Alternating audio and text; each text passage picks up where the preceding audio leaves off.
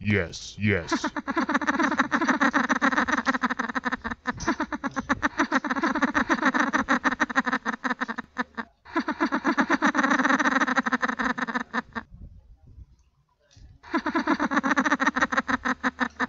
yes.